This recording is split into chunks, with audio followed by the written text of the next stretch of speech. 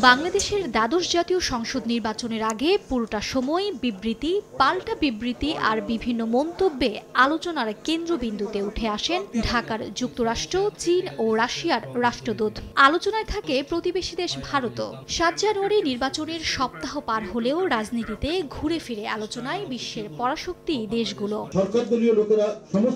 শনিবার নয়াপল্টনে কেন্দ্রীয় কার্যালয়ে সংবাদ সম্মেলনে বিএনপির সিনিয়র যুগ্ম মহাসচিব রুহুল কবির রিজভী অভিযোগ করে বলেন আওয়ামী লীগ বিদেশি শক্তির ওপর ভর করে টিকে আছে। ওবায়দুল কাদেরের উদ্দেশ্যে বলতে চাই বিএনপি নয় আওয়ামী লীগই বিদেশিদের উপর ভর করে ক্ষমতায় টিকে আছে। পেছনে তাদের রয়েছে আরেকটি বড় শক্তি। সাত জানুয়ারি নির্বাচনকে প্রত্যাখ্যান করে রিজভী আহমেদ হুঁশিয়ারি করেন প্রহসনের নির্বাচন করে সরকার বেশি দিন টিকতে পারবে না। দামি নির্বাচনের মাধ্যমে দামি সরকার গঠন করে আপনারা এখন ক্ষমতা হারানোর আতঙ্কে ভুগছেন। তবে এভাবে টিকে থাকতে পারবে না।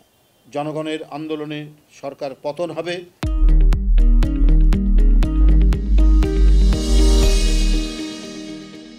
একতরফা নির্বাচনের অভিযোগ তুলে এর প্রতিবাদে এদিন সুপ্রিম কোর্টে কালো পতাকা মিছিল করে আইনজীবীরা।